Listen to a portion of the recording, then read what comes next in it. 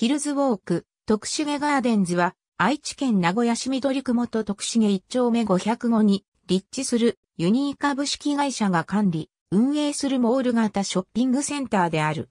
名古屋市徳重北部土地区画整理地内3街区、5街区の商業施設として建設され、地域センター、ユメリア徳重を含めた大規模商業施設の中核施設として、ユニーがピアゴラフーズコア徳重店を各店舗に110の専門店を配置し、同社で9番目となるモール型店舗である。機関施設のヒルズ棟と行動を挟んで名古屋市との共同開発であるガーデンズ棟の2つの商業施設で構成され、両棟を合わせてヒルズウォーク、徳重ガーデンズと称される。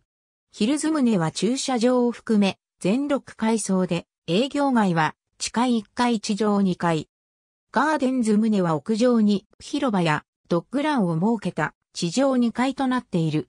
立地場所が緩やかな丘陵地帯であることからヒルエスと命名された。キーワードは街が広がる、笑顔がつながるとなっており、人、物、ことそして環境をつなぐ、地域の中心となる広場的な施設を目標にしている。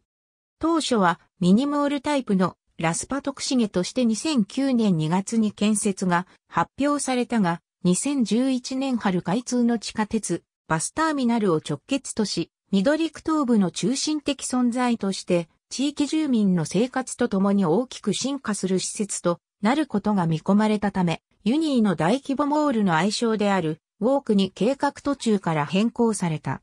そのため、他のウォークのような吹き抜け構造のモールは存在しない。ユニーの他のウォークと比較して、直営売り場面積比率が最も低く、約9%となっており、残りの約90%が非直営のテナントである。したがって、収益の多くはテナントから得ることになっている。これは各店舗を食料品専門の小型店、ピアゴラフーズコアとしているためで、同店から東南方に約500メートル離れた同社の GMS、アピタ緑店との共存が意図されている。2017年、オープン以来初のテナントの入れ替え等の改装が行われ、4月20日にリニューアルオープンした。ピアゴラフーズコア特殊下店を各店舗に110の専門店が入居する。